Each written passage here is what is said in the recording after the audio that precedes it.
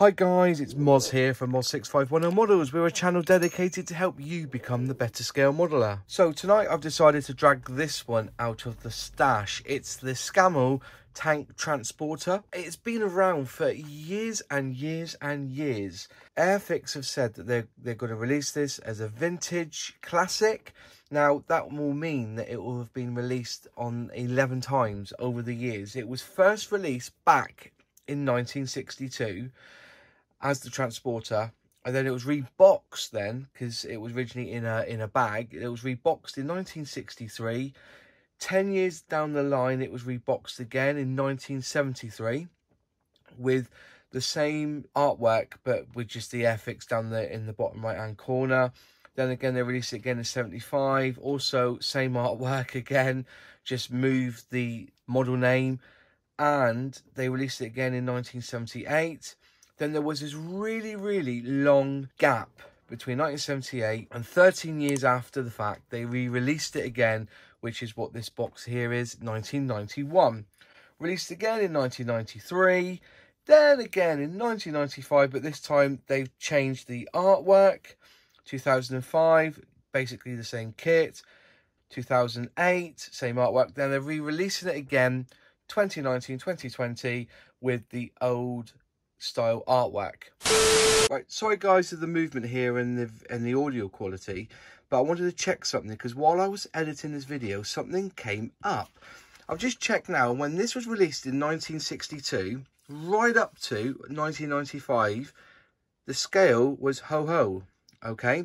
And then in 1995, they released it with brand new artwork and they called it 1 to 72 scale. 10 years after that, when they reboxed it again with that artwork from 1995, they then reclassed it as 1 to 76 scale. So as you go through the years, you can see you've got the OO gauge, then you have the um, 1 to 72, and then it goes into 1 to 76. Now, all these kits here previous, if they were classed as that, they are now classed as 1 to 76 scale. But there you go, there's just a little something in the history of this kit that changed. they haven't changed the tooling, they haven't changed the mould.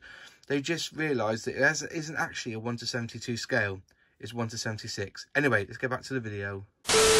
So that's really the history of them releasing this kit. There's a lot of releases, I understand, but as you can see, there's not a lot of difference. What you get inside the box is basically what was molded and tooled back in 1962. But if you just want a bit of history of this actual vehicle, the actual proper name for it is the Scammell Pioneer. And it was basically a British 6x4 tractor unit used in World War II as an artillery tractor, recovery vehicle and the tank transporter, which is what we have here. It was designed as a 6x4 off-road vehicle for use in Britain's colonies, where sealed roads were scarce. The Pioneer was first produced in 1927 and even though it was lacking all-wheel drive, its combination of a suspension with great travel, excellent traction, and a low revving engine gave it impressive pulling power on rough ground at low speeds. They were produced between 1927 and 1945. They were in service from 1932 right up to the 1980s.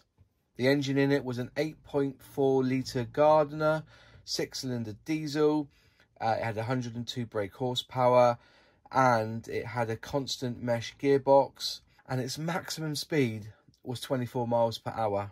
So then let's get the box, let's open it and let's see what you get inside. So first off, basically, as I said, it's a top opening box. So you've got um, a top and a bottom. Move that to the side. Here's the instructions, which basically tell you everything what they what they said they don't really mention it very much the actual name is pioneer. They basically called it the Scammell tank transporter. Number there is 02301 hundreds of these powerful diesel engine tank transporters were supplied to the services during the second world war. Much of what i've said. Open up in the instructions. Small little decal there with just numbers on so you can pick which one you want. Um, you can either have it in black or have it in white. Uh, H4611623. If I get up to the camera there, can you see that? Is it in focus yet? You can have it in white. And also there it is there, the Scammell 30 ton tank transporter. Obviously, you're going to be making the cab or first, and you do have a figure, it looks like, steering wheel, Uh, clear parts there, I guess, for the... There's no clear parts, just looking. I know, not any clear parts, but there you go. Then you start off with doing the chassis underneath. Uh, there's the um, the prop shaft, axles. Put it all together there with the wheels. So it looks like single, sing. So yeah, two parts to a wheel all the way through. Put it all together. That's the first part, number four. Then you start building the trailer. So it's all like exploded view. So, so the wheels are in, in half, so two together to make one. Part of the axles there. Moving it through, there's some springs there, I think. Going down through, yep, all together. And then you have the Humbrol paint colours at the bottom. There shouldn't be that many, should there? So you've got European camouflage there. Green, darker, dark, um, earth, dark brown, black, silver. Or you can also do the desert camouflage as well. Earth, dark brown, black and silver. And I think that's all you're going to get from the instructions. Inside the bag, this is, you know, so this is a very, very old tool. Um, unfortunately, my, my kit has already been opened before. And so all the bits may be a little bit loose. So what I'll do is I'll grab this top half of the box. We'll put them back in there as we go. So this is having a quick look. You can see there's rivet rivet marks on the front. All the way through, you see that. I presume that might even be some sort of tank. That's for the steps on the side. Might be even a tank there. There's the roof. It's you know quite a bit of detail there. Quite a lot of pin marks, but you won't see them. Quite a bit of badly mowed. There looks like a bit badly molded, unfortunately. You may may have to do some work though, unless you cut them bits out. I'm not too sure. But yeah, it's, it's, it's, it's, an old kit. A little bit of flash there on the edge. You have to tidy, a little bit tidy up needed. There's your figure there. Looking proud, wearing a beret. Uh, there's the rear axle, I guess. One side. There's the other side. Pushing through. There's a radiator there. Quite a bit there. All numbered up, of course, which is good. There's your um, your trailer chassis there. Not too bad, not bad looking. Spin this up here. Not too sure what that is, but see a little bit of over, over flash there, just a little bit. I think this is mostly for the trailer. I think that's the chassis for the actual the uh, the the tractor unit at the front there. I think that's what that is. The wheels, again, are all halves. So you get quite a few wheels to play with. Just glue them together. Give them a bit of a bit of a um, clean up when you do that. There's the steering wheel. It looks like bits for inside the cab there. A couple of shocks there. The steering wheel. Tiny little steering wheel.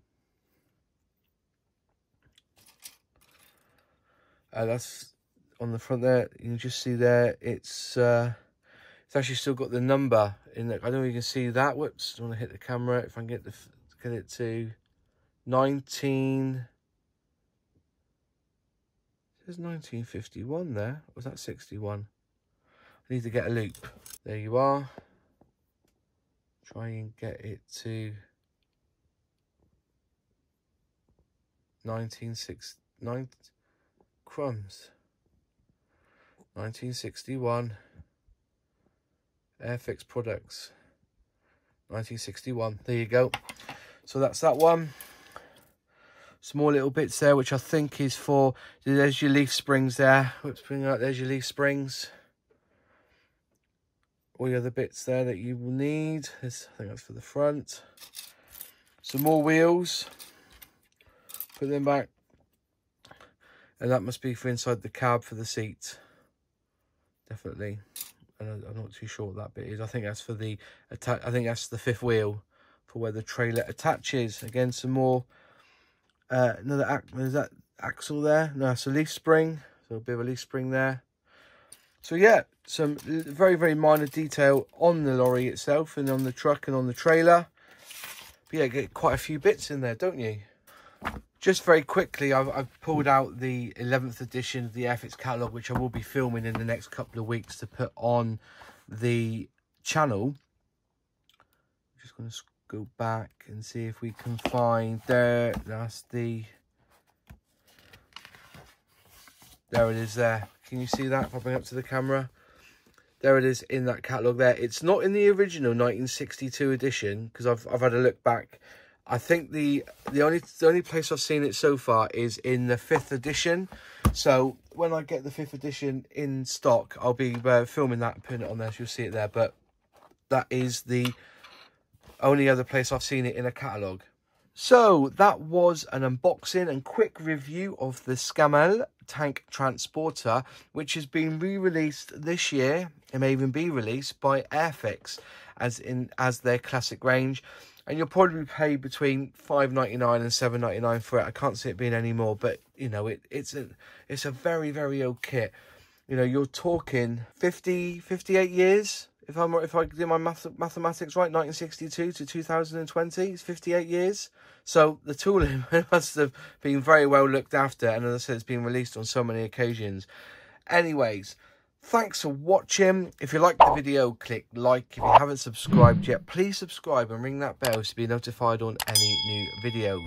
Any questions, any comments, put them in the box below, and I'll see you in the next video. Cheers.